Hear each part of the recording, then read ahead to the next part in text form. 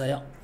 미국의 헌법학자 제롬 베러는 사람 이름 1967년 언론 매체 접근 이용권을 최초로 주장했었다. 무슨 권, 무슨 이론, 무슨 사상 이러한 것들 최초로 주장했습니다. 언론 매체 접근 이용권이란 누가 봐도 단어 뜻 설명하겠다 이거죠. 네모 그리고 옆에다가 미리 쓸까 개념 그리고 언제 누가 처음 사용했습니다. 위에 줄에다가 유래 국민이 자신의 사상이나 의견을 표명하기 위해서 표명은 생각을 겉으로 드러내다 단어 뜻 표명하기 위해 언론 매체에 자유롭게 접근하여 이것을 이용할 수 있는 권리를 말한다. 내가 신문, TV, 라디오를 이용해서 내가 하고 싶은 얘기 할 수 있어야 돼. 그게 언론 매체 접근 이용권. 헉, 내가 신문에 내가 하고 싶은 얘기를 쓴다고 돈 안 내고 그럴 수 있다 이거인 거지. 두 번째 문단으로 넘어갈게요. 베러는 계속 사람 이름이니까 당시 미국과 영국 내 언론의 독과점으로 인해서 영국과 미국 내의 언론의 독과점 요게 베런이 생각했던 당시의 언론 상황의 문제점. 독점은 혼자서 해먹는 거고 과점은 둘셋 소수가 해먹는 거죠. 국민의 다양한 의견을 표출할 수 있는 통로가 점점 사라지고 있음을 주목했다. 독과점으로 인해서 화살표, 의견 표출 통로가 사라지고 있다. 또한 그는 상업적 이익만 추구하는 언론사가 보다 많은 시청자나 독자 등을 확보하기 위해서 사람들이 불편하게 여기는 주장이나 의견보다 대중적인 주장이나 의견만 전달하고 있다고 주장했다. 1번 독과점으로 인해 다양한 의견 통로가 줄어들고 있다. 2번 대중적 주장이나 의견만 전달하고 있다. 베런 씨가 생각했던 당시 언론 사회의 문제점 1, 2 언론 매체가 공론장의 역할을 하지 못하기 위해서 공론장 무슨 뜻이에요? 공공으로 논의해야 하는 필드 역할을 하지 못해 국민의 다양하고 공정한 여론을 형성하는 기능을 수행하지 못함을 지적한 것이다. 여기는 요렇게 체크. 국민의 다양하고 공정한 여론을 형성하는 기능을 수행하지 못한다. 1번 2번을 통합하면 이렇게 한 문장으로 정리할 수가 있는 거지. 베런이 생각한 당시 언론의 문제점 한 문장 쓰세요 하면은 예 쓰면 됩니다. 다른 거 쓰지 말고. 이러한 상황에서 국민들이 이러한 상황 어떤 상황? 여기 요 상황.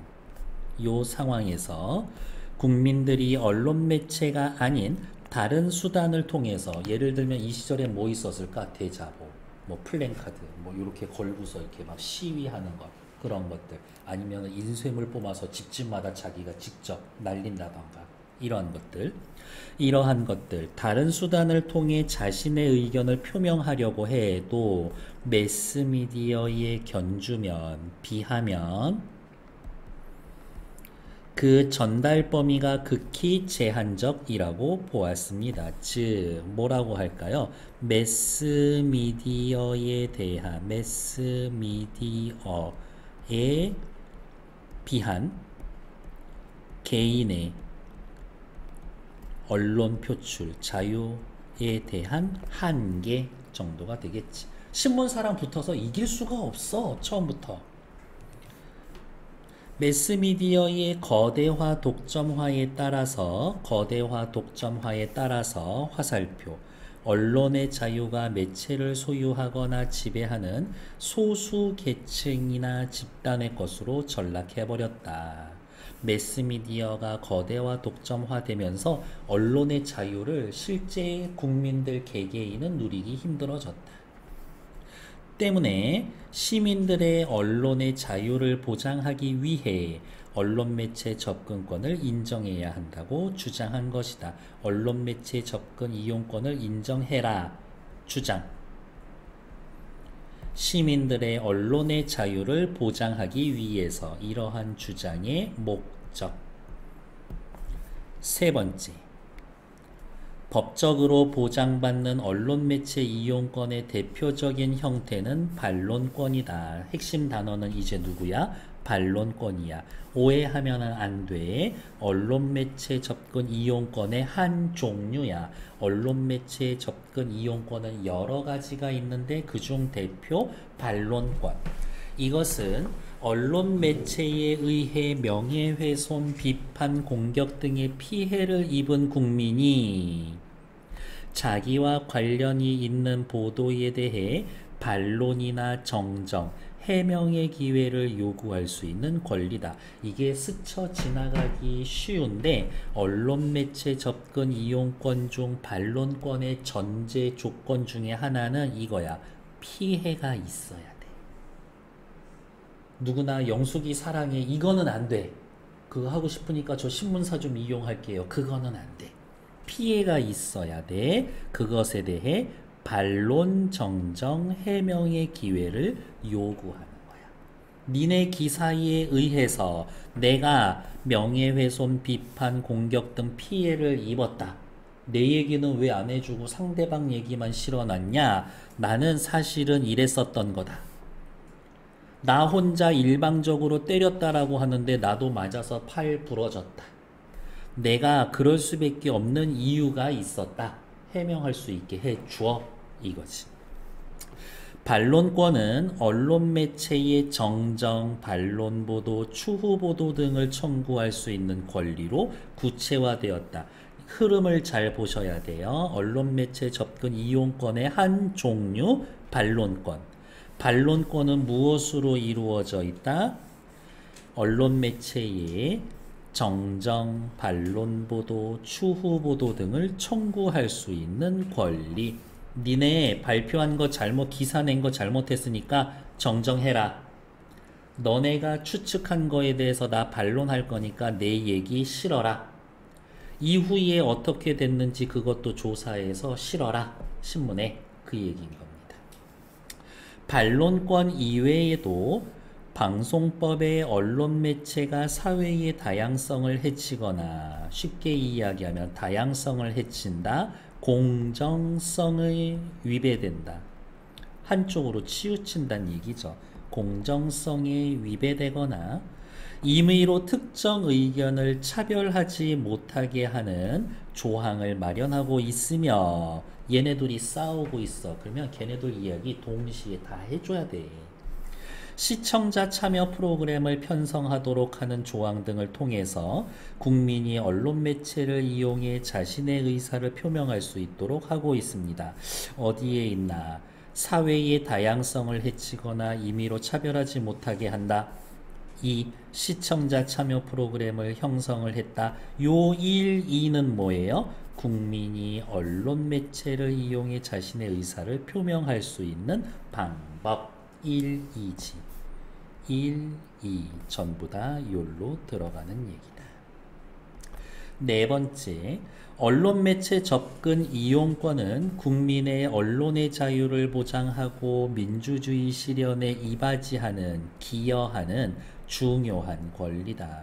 그러나 언론 매체 접근 이용권은 언론 매체가 신문 등의 표현 내용을 결정하는 권리인 편집권과 맞부딪힐 수가 있다. 언론 매체 접근 이용권, 나 그거 쓰겠다.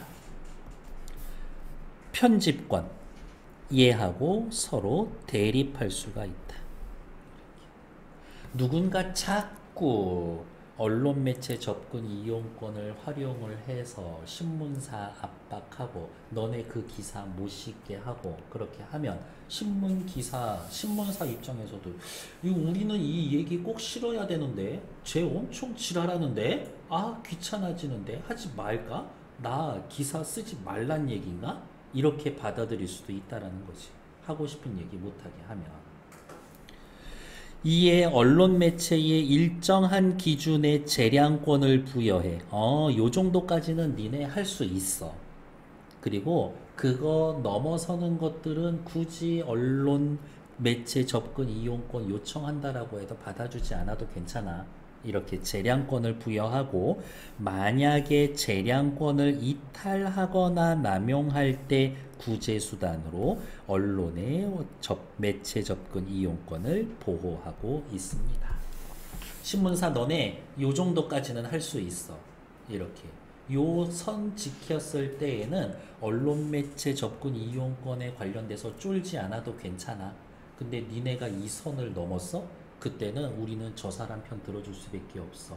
언론 매체 접근 이용권 쓰게 할 거야. 이렇게 되어 있습니다. 됐을까요? 문제를 살살살살 풀러갈게요. 20번. 권리의 유형을 구분하고 있는 것은 아니에요. 탈락. 이러한 권리, 언론 매체 접근 이용권의 발전 과정 그런 거 없어. 탈락. 언론 매체 보호 이용권의 권리의 등장 배경 있어. 소수의 언론사가 지배하는 것. 실현 양상 어떻게 하면은 됩니다. 있어. 시대에 따라 변화하는 권리 없어. 권리가 올바르게 실행되기 위한 조건 있어. 뭐 언론 매체 접근 이용권이 시, 올바르게 실행되기 위해서는 평소에는 얘네 재량권 인정해 주다가 그걸 넘어섰을 땐 이용권 보호해 줄게. 이런 거니까 일단 여기까지만 보면 답은 3, 5 둘 중에 하나 되겠지. 다음 21번 또 살펴보러 갈게요. 지울 수 있는 애들이 몇 개 있거든.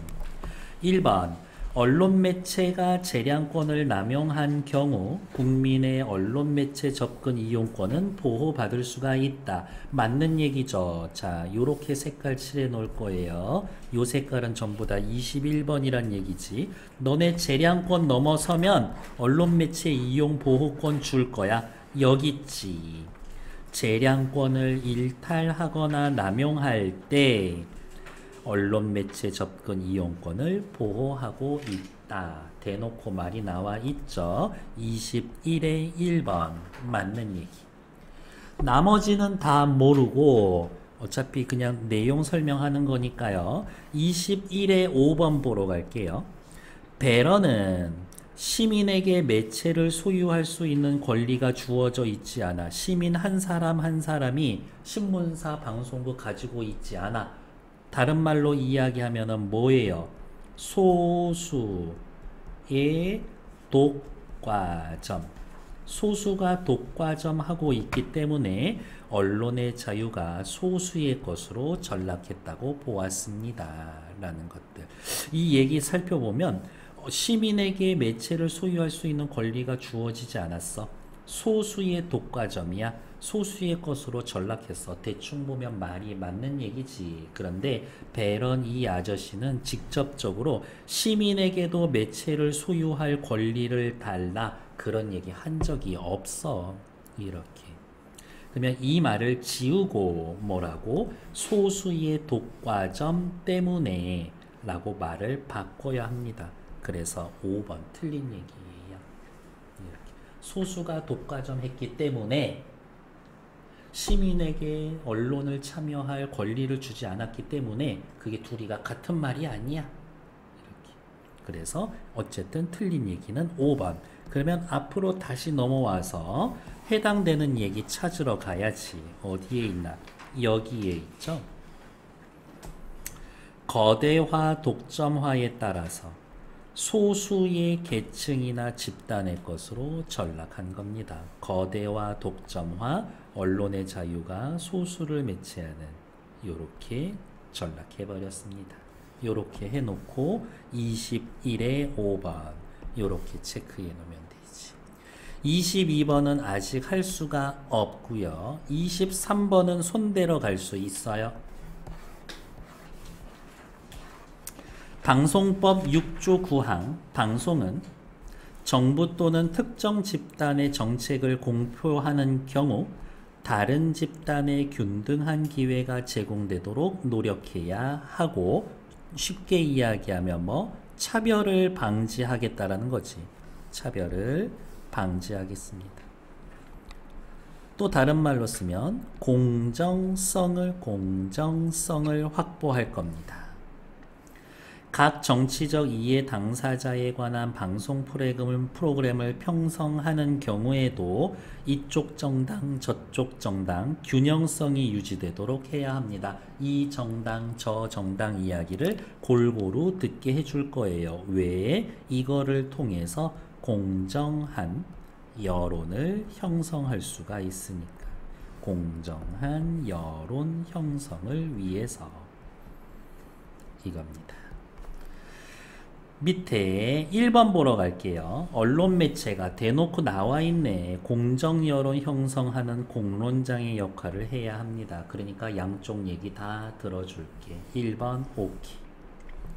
2번 기억은 언론 매체에 의해서 비판을 당한 국민이 반론의 기회를 요구할 수 있는 권리. 지금 읽은 6조 9항에 비판받으면 반론할 수 있습니다. 그 얘기가 없어. 그러니까 2번 틀리지. 2번 틀리죠. 그리고 이렇게 고쳐놓으면 됩니다. 비판당한 국민이 반론의 기회를 요구할 수 있는 권리 밑에다가 반론권 하지만 위에 보고 있는 기억 6조 9항은 반론권에 관련된 이야기가 아니다. 다음 니은 읽고 3번 보러 가야 되겠네요. 6조 2항 성별, 연령, 직업, 종교, 신념, 계층, 지역, 인종 등을 이유로 방송에 차별을 두어서는 안 됩니다. 쉽게 이야기하면 뭐다? 차별 두어서는 안 됩니다. 다른 말로 이야기하면 여러 성별, 연령, 직업, 종교, 신념 얘네들 전부 다 이야기해 주겠습니다. 다양성을 존중하는 겁니다. 혹은 다양성을 보장해 주는 거예요. 이거지. 옆에 나와 있는 3번 볼게요. 그렇죠. 대놓고 나와 있네요. 다양성을 보존합니다. 해치지 못하도록 하는 겁니다. 3번 완전 맞는 얘기. 디귿 이제 마저 읽으러 갑시다. 언론중재법 17조 1항. 어, 법이 좀 다르죠? 언론 등에 의해 범죄 혐의가 있거나 형사상의 조치를 받았다고 보도 또는 공표된 자는 내가 뉴스에 났어. 살인범으로 지금 의심받고 조사받고 있습니다. 라고 뉴스에 났어. 얼굴 가리고 이렇게 나왔는데 이건 누가 봐도 내가 아는 사람이 보면 누가 봐도 나야. 이렇게. 그에 대한 형사 절차가 무죄 판결 또는 이와 동등한 형태로 종결됐을 때에는 형사들이 머리 모자 쓰고 얼굴 가리라고 해서 이렇게 했는데 재판 받았더니 나 무죄야. 다른 살인범이 실제로 잡혔어. 이렇게. 그럴 때에는 그 사실을 안 3개월 이내에 언론사 등에 이 사실에 관한 오케이 추후 보도의 게재를 청구할 수가 있습니다. 내가 하고 싶은 이야기 하게 해줘. 라는 것 자체가 기본적으로 언론의 자유를 보장해 주는 거지. 나 그렇게 가서 재판 가가지고 저기 뭐야 무죄 판결 받고 나왔는데 오 우리 집에 갔더니 유리창 다 깨져 있고 우리 가족들 우리 딸내미 부인들 막 살인마의 자식 마누라 해가지고 막 동네에서 막 맞고 다니고 돌 맞고 다니고 집에 막 낙하칠 해 놓고 이렇게 했었을 수 있잖아. 그렇게 피해를 본 것에 대해서 오케이 구제해 주겠다. 피해를 구제해 주겠다 라는 목적이 있는 거지 오른쪽으로 올게요. 매스미디어를 소유하지 않아도 그렇지 하고 싶은 얘기 하세요. 억울하셨죠? 언론의 자유를 보장하는 겁니다. 맞지? 피해를 입은 사람이 자신의 의사를 표명할 수 있도록 피해를 스스로 구제할 수 있도록 해주는 겁니다. 5번 맞는 얘기. 틀린 건 2번. 됐을까요? 네. 다시 앞으로 돌아오죠. 지금 제가 문제 푸는 방식은 뭐예요? 끝까지 다 읽고 푸는 거 아니다. 사실 여러분들 무시한 걸 수도 있어요. 나 이거 가나 끝까지 다 읽고도 지문 내용 거의 기억하는데 그러면 굳이 이렇게 하지 않으셔도 괜찮아. 다음 나 보러 갈게요. 사례와 쟁점으로 본 언론법의 이해의 1. 언론 보도에 의해 명예나 권리를 침해받았을 땐 어떻게 해야 할까? 당연히 물어보고 대답하죠. 문답. 명예훼손죄로 고소할 수도 있지만 판결이 나올 때까지는 오래 시간이 걸려. 따라서 언론중재법에는 언론 매체에 의해 피해를 받은 개인에게 이것도 놓치기 쉬운 전제야. 언론 매체에 의해 피해를 받아야 돼. 영수가 사랑해. 이거는 안 된다고. 개인에게 신속하고 대등한 방어 수단을 제공하기 위해 정정보도 청구권. 야, 너네 보도 내용 고쳐. 반론 보도 청구권. 아니야. 사실 숨겨진 사연이 있는데 그 얘기 왜 안 써? 그 얘기 쓰면은 사람들 나한테 욕 못해. 반론 보도 청구권이 규정되어 있습니다. 그러면 이렇게 생각할 수 있겠네. 정정보도 청구권, 반론보도 청구권은 개인의 신속하고 대등한 방어 수단이야. 개인의 신속하고 대등한 방어 수단. 정정보도 청구권, 반론보도 청구권. 그러면 이제 냄새가 나죠? 정정보도 청구권이란 반론보도 청구권 이거 뭔지 이거 뭔지 따로따로 설명해 줘야 돼. 그래야 좋은 글이지. 네모 칠까요? 정정보도 청구권은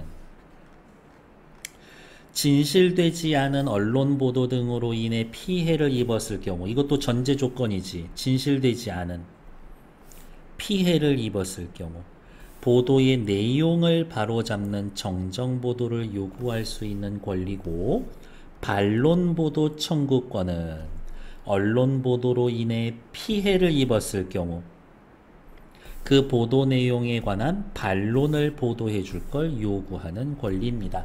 얘네 둘의 공통점은 뭐야? 피해를 입어야 돼. 근데 차이점은 그거 기사 내용 고쳐라. 아니다. 내 입장도 같이 보도해 달라. 예. 정정 보도를 청구하는 피해자는 원 보도가 허위임을 입증해야 한다. 아, 너무 슬프다. 피해자가 직접 증명해야 돼. 피해자가 직접 증명해야 돼. 요게 시험 포인트. 피해자가.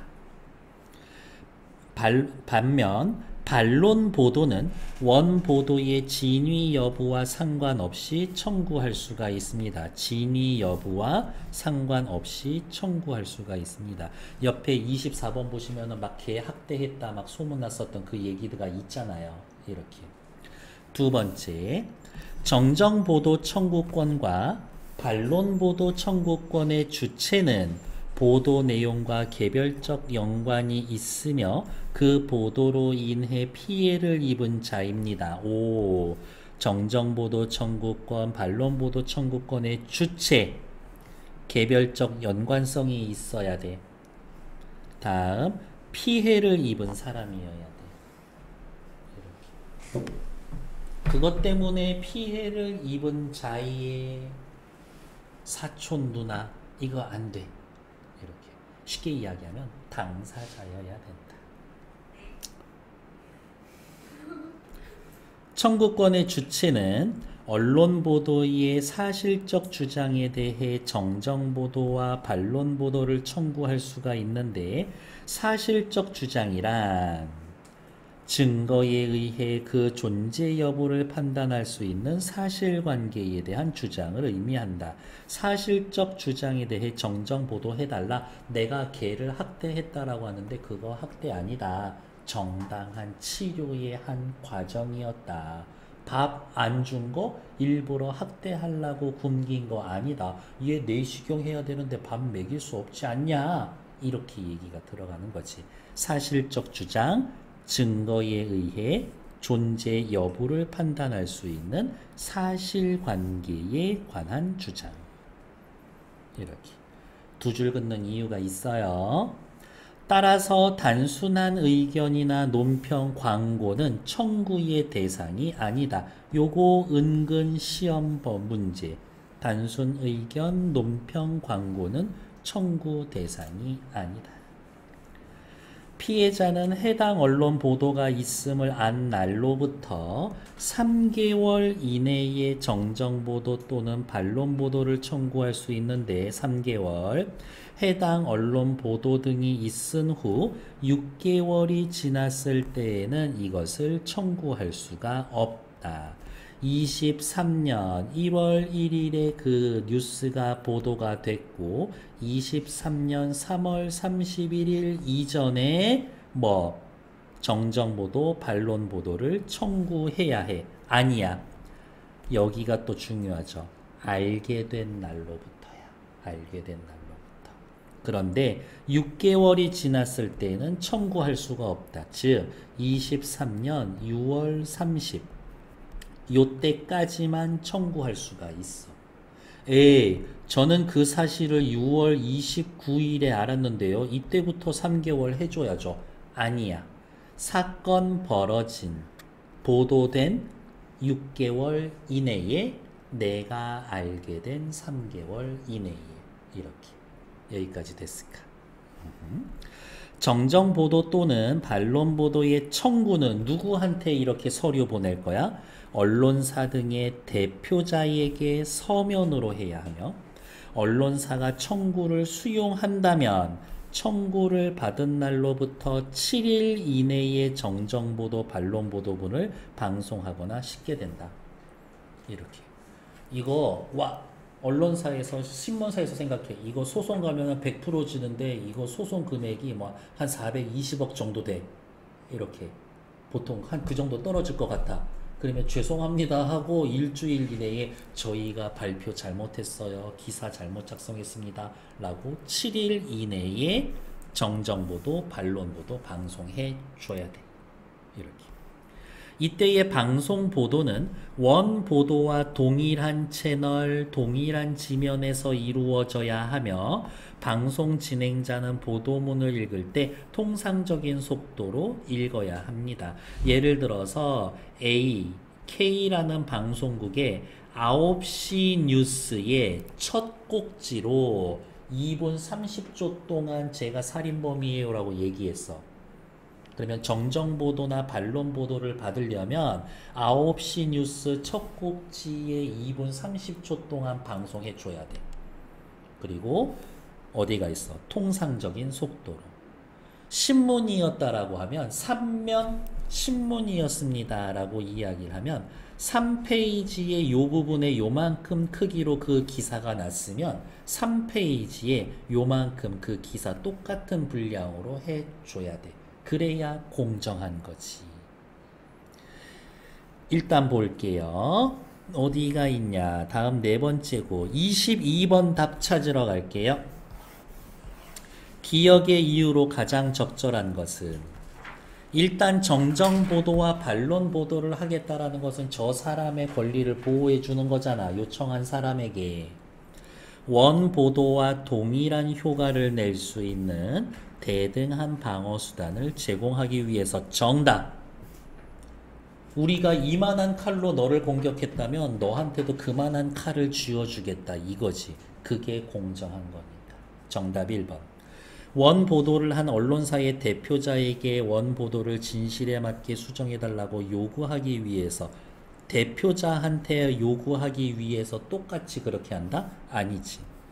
원 보도에 비해 신속한 정보 전달을 제공하여 언론 보도에 의한 피해를 최소화하기 위함이다. 아, 신속한 전달 수단을 제공한다라는 것도 나쁘지 않아. 근데 기억에 관련된 게 아니라 그거는 어디에 밑줄이 그어져 있다면 7일 이내에 여기에 밑줄이 긋고 기억이었으면 3번 맞는 말이야. 7일이면은 비교적 신속하게 사건 처리하는 거니까. 언론 매체가 대중적인 주장과 사람들이 불편하게 여기는 주장을 차별적으로 보도하지 않기 위해서 그러면 내가 요청하는 정정 보도, 반론 보도가 사람들을 불편하게 여기는 주장인 거야? 그거는 아니지. 반론을 요청합니다. 그 내용이 불편한 주장 아니야. 이렇게. 양측의 주장을 같은 방식으로 제공하여 좋아. 옳고 그름에 대한 판단을 시청자 또는 독자가 자 똑같이 했으니까 시청자 여러분 판단해 보십시오. 이거야. 책임 또 떠넘기고 있는 거야. 그런 거는 아니야. 그래서 정답은 1번. 요거와 관련돼서는 시험 문제는 거의 요 포인트. 일단 요 말을 잘 외워놓고 어떻게 고치는지 확인. 신속한 전달 수단을 제공한다라는 건 7일 이내에 밑줄이 그어져 있다면 3번 맞는 얘기. 그 정도로 볼 수는 있겠다 그러니까 문제를 꼬면은 많이 꼴 수는 없어. 일단 그 정도에서 좀 해결되지 않을까라고 생각해 봅니다. 다음 다시 앞으로 넘어와서 이제 마저 읽으러 갈게요. 만약 언론중재법상 정정 보도를 할 수 있는 기간이 지났어. 큰일 났네. 6월 30일까지만 받아주는데 환장하겠네. 내가 그걸 6월 29일에 받았어. 이게 하루 만에 되는 거는 아니잖아. 막 나도 서류 작성하고 뭐 변호사 만나보고 막 해야 되는 건데 날짜를 놓쳤어. 그러면 이 사람은 무조건 당하고만 있어야 돼? 아니야. 2반, 2차 다음 해결책을 드리도록 하죠.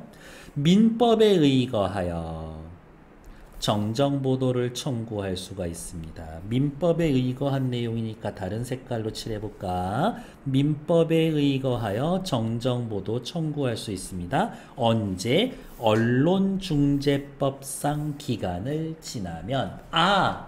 그러면 이렇게 생각할 수 있겠네. 언론중재법상 정정보도 청구할 수 있는 요 기간은 짧아, 숏. 하지만 민법에 의해 정정 보도를 청구할 수 있는 기간은 조금 길어. 이렇게 6개월 넘어도 방법이 있어.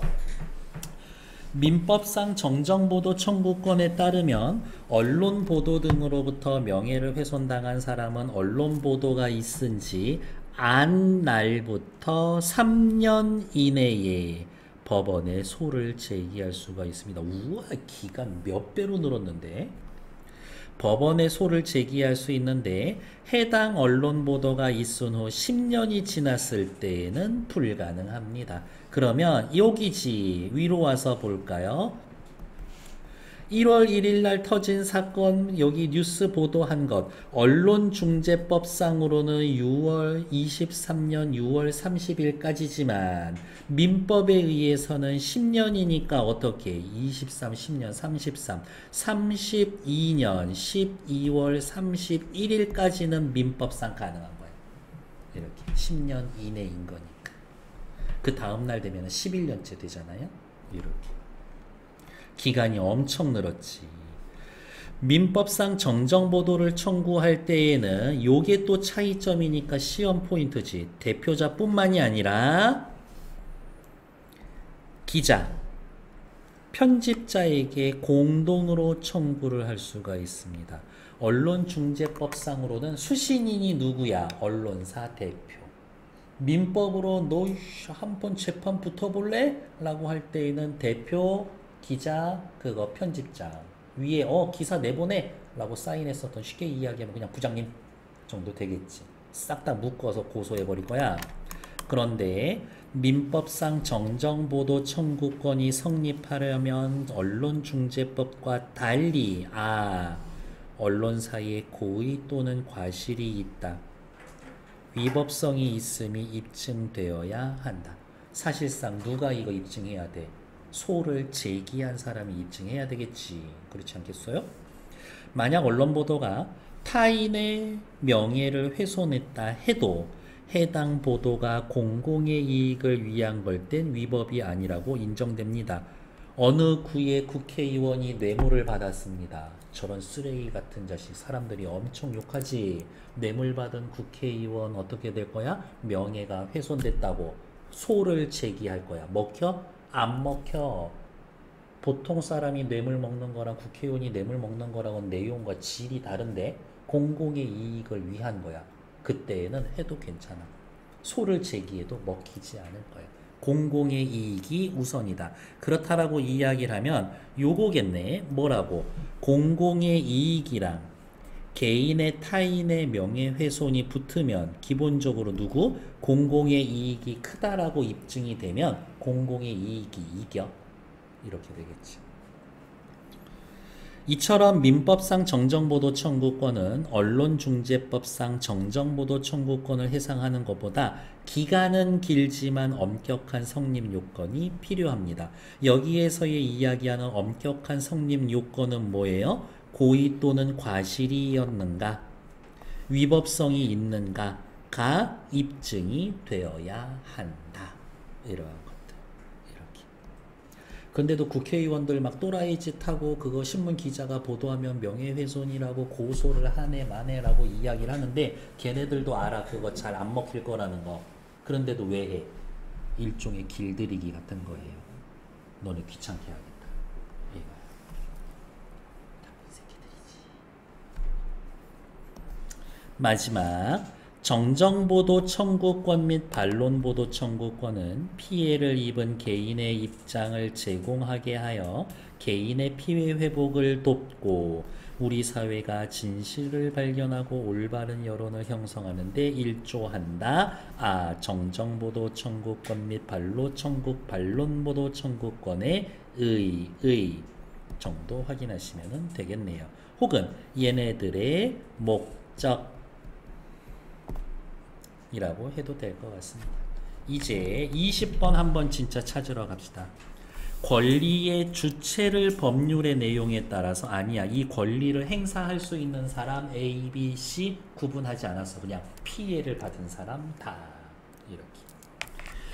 나 권리의 실현 과정에서의 나타나는 한계 딱히 한계가 있지는 않아. 나는 근거한 법에 따른 권리의 성립 요건의 차이. 오! 언론중재법상으로 근거할 거냐? 민법에 근거할 거냐? 나눠서 설명해 주죠. 3번 맞는 얘기. 정답. 다른 권리와 대비하지는 않았어요. 탈락. 권리의 실행으로 인해 변화된 양상, 변화된 양상도 없어 탈락. 정답은 3번. 그러면 여기 20번에서 여러분들이 건질 만한 내용은 이거네. 가는 권리의 등장 배경. 아이고야. 가는 권리의 등장 배경과 실현 양상. 나는 근거한 법에 따른 성립 요건의 비교. 그 다음에 가는 권리가 올바르게 실행되기 위한 조건. 얘네들은 맞는 말이다. 라고 그냥 기억 정도 해 놓으면 되지. 물론 이제 OX 문제는 엄청 많을 테지만 옆에 21번 나머지 거 얘네들 일단 답은 5번 찾았는데 왜 맞는지 찾으러 갈게요. 공공의 이익을 위한 보도가 타인의 명예를 훼손한 경우 민법상 정정보도 청구권은 성립하지 않는다. 마지막에 야, 너 나랑 붙어 라고 해놨었던 부분이 있었죠. 어디 있었어? 여기 있었어. 타인의 명예훼손을 해도 공공의 이익을 위한 거라면 위법이 아니라고 인정해 줍니다. 이게 21의 2번. 21의 2번. 21에 또 3번 보러 갈게요. 민법상 정정보도 청구권은 언론중재법상 정정보도 청구보다 보도를 청구할 수 있는 기간이 길다. 이거는 찾지 말고 그냥 쓰자. 민법상 10년. 언론중재법상 6개월. 훨씬 길지. 20배기로 20배. 언론중재법상 정정보도 또는 반론보도를 청구하려면 그렇죠. 제가 아까 꼬불꼬불 밑줄 그으면서 영수가 사랑에는 안 된다라고 해서 그러면 언제 해당된다고 피해를 입은 사실이 있어야 한다. 이게 전제 조건이었었다. 아까 계속 지나가면서 얘기했죠. 그래서 틀린 건 5번. 22, 23번 했고요. 24번 보러 갈게요. 동물병원을 운영하는 A는 세모 기자의 신문의 기자 B가 제보 내용에 대해 별도의 취재 없이 보도한 기사로 인해 매출이 줄어드는 오케이 피해를 입었다. 정정보도 반론보도 할 수 있는 첫 번째 조건 확인. A는 다음의 내용으로 땡땡신문사 대표자 또는 기자 B에게 정정, 반론 보도를 요청하고 있다. 어머, 여기가 또 힌트지. 대표자 기자비 싸그리 묶어서 청구했지. 언론중재법이 아니라 민법상 이거야. 그러면 밑에다가 써야지. 정정 및 반론 보도를 요청했다. 무엇에 민법에 의거하여. 민법에 의거라는 말을 썼나? 어, 민법에 그냥 따라서. 언론중재법이 아니라 민법에 따라서. 그래서 본신문은 22년 9월 1일 신면 나중에 보면 정정 반론 보도 나올 때 신면에 나와야 돼. 신면에. 땡땡시 소재 동물병원 입원한 반려견 방치하고 처방전 미발급이라는 제목으로 땡땡시 소재한 모 동물병원에 입원한 반려견에게 먹이를 주지 않았고 처방전 발급하지 않고 의약품을 투약했다라고 보도했다. 너네가 이렇게 보도했다라고 하면서 너네 보도 내용 요약.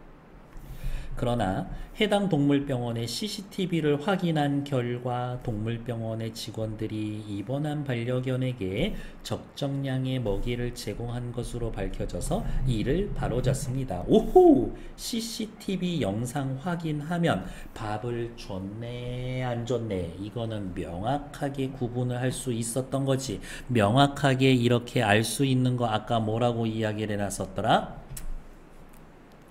네. 사실적 주장을 판단하는 거지. 사실적 주장에 대한 판단인 거지.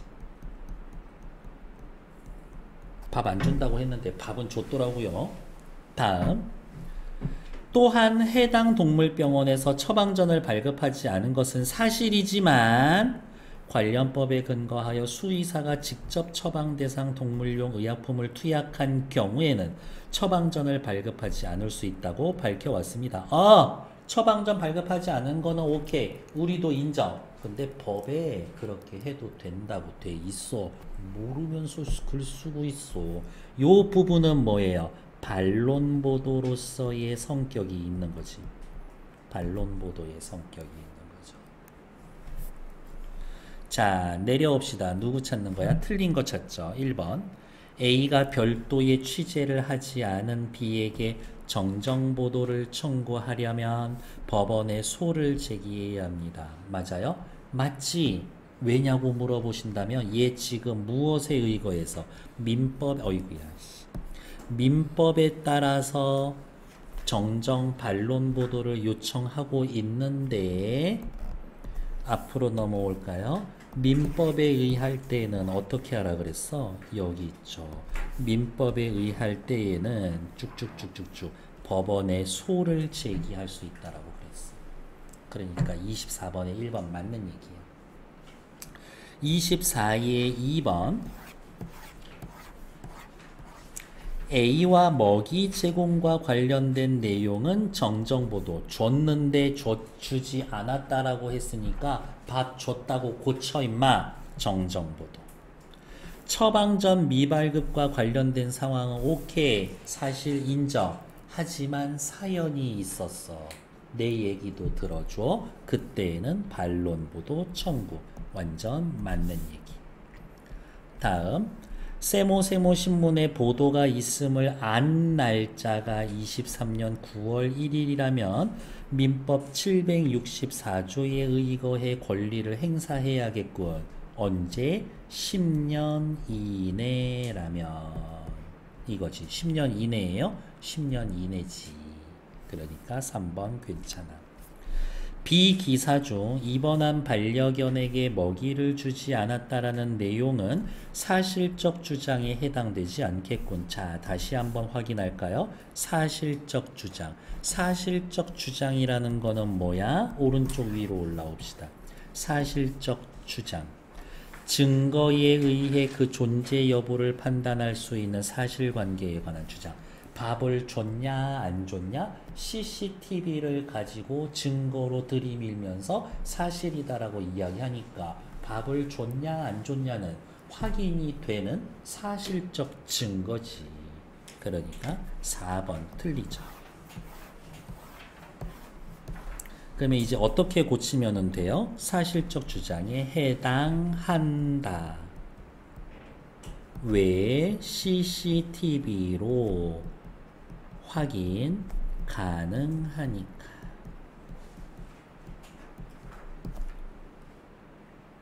오번 시사가 언론중재법에 의거한 A의 청구를 수용한다면 아, 네 알겠습니다. 청구를 받아들인 일주일 이내에 땡땡 신문에 실어야 합니다. 어디에? 신면에 실어야 돼. 글자 크기도 똑같이. 표제 부제 부분 해가지고 막 글씨 굵기 다른 데 있으면 그거 맞춰서 이야기를 해줘야 한다. 맞지. 틀린 건 4번. 25번은요. 네, 어휘니까 그냥 바로 답 알려드릴게요. 정답 5번이에요. 증진하다라는 거는 뭐예요? 기운이나 세력이 늘어나다 이런 뜻이거든요. 그런데 이에 밑줄 그어져 있는 단어 A, B, C, D, E 누구야? D가 쉽다. E는 어디 있어? 어, 회복을 돕다야. 회복을 돕다. 에서 돕다야. 여기에서의 돕다는 말 그대로 무슨 뜻이에요? 남 혹은 남의 일을 어떻게 옆에서 남의 일에 도움을 주다. 뭐 그 정도의 뉘앙스가 있는 거니까 뜻이 조금 다르지. 그래서 틀린 건 5번. 요 정도 확인하시면 됩니다. 일단 정지.